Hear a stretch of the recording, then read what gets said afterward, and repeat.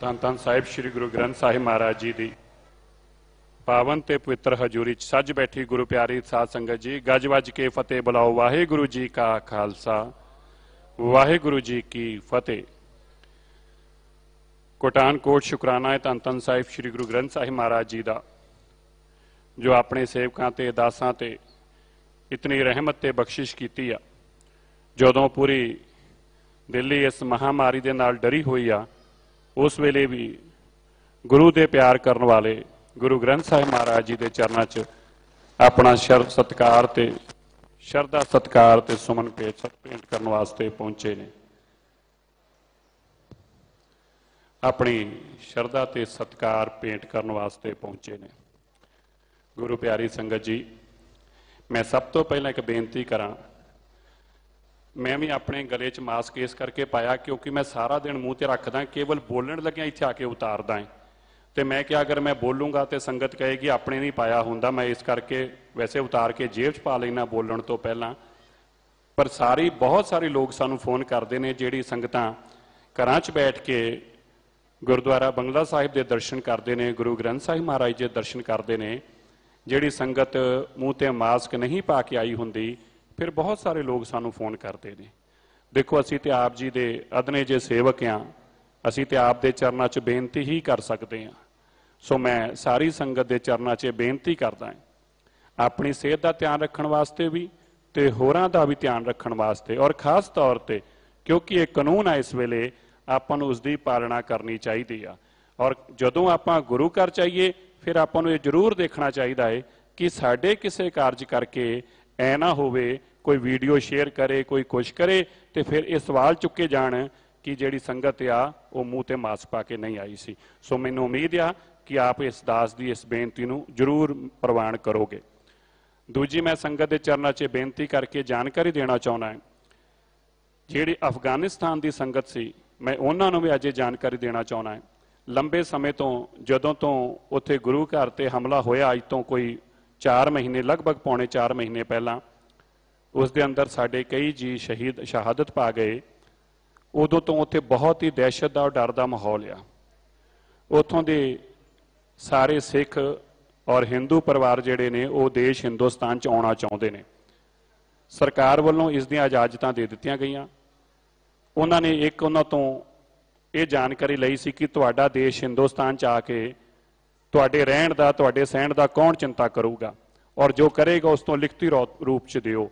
ਮੈਂ ਆਪ ਦਿੱਲੀ ਦੀ ਸੰਗਤ ਵੱਲੋਂ, ਦੇਸ਼ ਦੀ ਸੰਗਤ ਵੱਲੋਂ ਦਿੱਲੀ ਸਿੱਖ ਗੁਰਦੁਆਰਾ ਮੈਨੇਜਮੈਂਟ ਕਮੇਟੀ ਨੇ ਸਰਕਾਰ ਨੂੰ ਔਰ ਉੱਥੋਂ ਦੇ ਹਾਈ ਕਮਿਸ਼ਨ ਨੂੰ ਲਿਖਤੀ ਤੌਰ ਤੇ ਦੱਸਿਆ ਹੈ ਕਿ ਦਿੱਲੀ ਸਿੱਖ ਗੁਰਦੁਆਰਾ ਮੈਨੇਜਮੈਂਟ ਕਮੇਟੀ ਜਿਹੜੇ ਵੀ ਪਰਿਵਾਰ ਆਉਣਗੇ, ਉਹਨਾਂ ਦੇ ਰਹਿਣ ਦਾ, ਸਹਿਣ ਦਾ, ਜਦੋਂ ਤੱਕ ਉਹਨਾਂ ਨੂੰ ਆਰਥਿਕ ਤੌਰ ਤੇ ਉਹ ਔਰ ਆਪਣੇ ਘਰਾਂ ਦਾ ਇੰਤਜ਼ਾਮ ਨਹੀਂ ਕਰ ਲੈਂਦੇ, ਅਸੀਂ ਉਹਨਾਂ ਨੂੰ ਸੰਭਾਲਣ ਵਾਸਤੇ ਤਿਆਰ ਆ ਦਿੱਲੀ ਦੀ ਸੰਗਤ, ਦੇਸ਼ ਦੀ ਸੰਗਤ ਉਹਨਾਂ ਨੂੰ ਸੰਭਾਲੂਗੀ ਸਾਡੇ ਆਪਣੇ ਨੇ।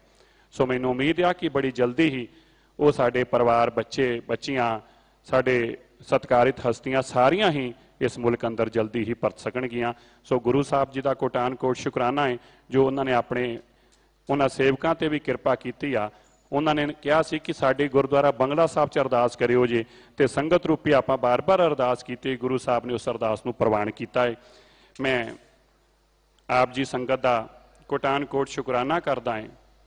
ਆਪ ਜੀ ਨੇ ਇਸ ਲਾਕਡਾਊਨ ਦੌਰਾਨ ਅੱਜ ਲਗਭਗ 4 ਮਹੀਨੇ ਹੋ ਗਏ 23 ਤਰੀਕ ਨੂੰ ਲਾਕਡਾਊਨ ਹੋਇਆ ਸੀ। ਅੱਜ 19 ਤਰੀਕ ਆ। ਇਹਨਾਂ 4 ਮਹੀਨਿਆਂ ਦੇ ਅੰਦਰ ਤੁਸੀਂ ਕਲਪਨਾ ਕਰਕੇ ਦੇਖੋ ਕਿ ਜਦੋਂ ਸੰਗਤਾਂ ਨਾ ਮਾਤਰ ਪਹਿਲਾਂ ਤੇ 3 2 ਮਹੀਨੇ ਤੇ ਆਇਆ ਹੀ ਨਹੀਂ, ਕੋਈ ਇਜਾਜ਼ਤ ਹੀ ਨਹੀਂ ਸੀ। ਉਸ ਤੋਂ ਬਾਅਦ ਵੀ ਜੋ ਗੁਰਦੁਆਰਾ ਬੰਗਲਾ ਸਾਹਿਬ ਜਾਂ ਬਾਕੀ ਗੁਰੂ ਘਰਾਂ ਦੀ ਸੰਗਤਾਂ ਆਉਂਦੀਆਂ ਸੀਗੀਆਂ ਉਹਨਾਂ ਦੇ ਨਾਂ ਆਉਣ ਦੇ ਬਾਵਜੂਦ ਸੰਗਤਾਂ ਨੇ ਆਪਣੇ ਘਰੋਂ ਬੈਠ ਕੇ ਮਹਾਨ ਸੇਵਾਵਾਂ 'ਚ ਹਿੱਸਾ ਪਾਇਆ। ਸੰਗਤ ਜੀ, ਮੈਨੂੰ ਇਹ ਦੱਸਦੇ ਆ ਬੜੀ ਪ੍ਰਸੰਨਤਾ ਹੁੰਦੀ ਔਰ ਮੈਂ ਕੋਟਾਨਕੋਟ ਸ਼ੁਕਰਾਨਾ ਕਰਦਾ ਆਪਣੇ ਇਸ ਮਾਲਕ ਦਾ। ਉਹਨਾਂ ਜੀਆਂ ਤੇ ਮੇਰੇ ਮਾਲਕ ਨੇ ਕਿਰਪਾ ਕੀਤੀ, ਉਹਨਾਂ ਜੀਆਂ ਦੀ ਅਰਦਾਸ ਪ੍ਰਵਾਨ ਹੋਈ, ਉਹਨਾਂ ਜੀਆਂ ਤੇ ਮਾਲਕ ਨੇ ਰਹਿਮ ਔਰ ਕਿਰਪਾ ਕਰਕੇ ਉਹਨਾਂ ਤੋਂ ਇਸ ਲਾਕਡਾਊਨ ਚ ਮਾਨਵਤਾ ਦੀ ਸੇਵਾ ਲਈ ਕਿੰਨੇ ਭਾਗਾਂ ਵਾਲੇ ਜੀ ਨੇ ਜਿਨ੍ਹਾਂ ਤੇ ਮੇਰੇ ਮਾਲਕ ਨੇ ਤਰਸ ਕੀਤਾ, ਕਿਰਪਾ ਕਰਕੇ ਆਪਣੇ ਘਰੋਂ ਬੈਠਿਆਂ ਵੀ ਉਹਨਾਂ ਦੀ ਹਾਜ਼ਰੀਆਂ ਲਵਾਈਆਂ ਔਰ ਉਹਨਾਂ ਦੀ ਸੇਵਾ ਲਈ। ਉਹਨਾਂ ਪਰਿਵਾਰਾਂ ਕਰਕੇ ਹੀ 4 ਮਹੀਨੇ ਟੀਚਰਾਂ ਦੀਆਂ ਗੱਲ ਹੋਵੇ, ਸਾਡੇ ਸਟਾਫ ਦੀ ਗੱਲ ਹੋਵੇ ਸਾਡੇ ਰਾਗੀ ਢਾਡੀ ਗੁਰੂ ਘਰ ਦੇ ਵਜ਼ੀਰਾਂ ਦੀ, ਸੇਵਾਦਾਰਾਂ ਦੀ ਸਾਰੇ ਪ੍ਰਬੰਧ ਜੋ ਤੁਸੀਂ ਦੇਖ ਰਹੇ ਜੇ ਗੁਰੂ ਘਰ ਦੇ, ਉਹ ਆਪ ਸੰਗਤਾਂ ਦੀ ਕਿਰਪਾ ਸਦਕੇ ਹੀ ਸੰਭਵ ਹੋ ਸਕੇ ਚਲਾਉਣੇ, ਵਰਨਾ ਕਿਸੇ ਸੂਰਤ ਚ ਚੱਲ ਹੀ ਨਹੀਂ ਸਕਦੇ ਸੀ, ਕਿਉਂਕਿ ਜਦੋਂ ਸੰਗਤ ਹੀ ਨਹੀਂ ਆ ਰਹੀ ਸੀ, ਤੇ ਸੰਗਤ ਦੇ ਨਾਲ ਹੀ ਇਹ ਸਾਰੇ ਪ੍ਰਬੰਧ ਚੱਲਦੇ ਨੇ।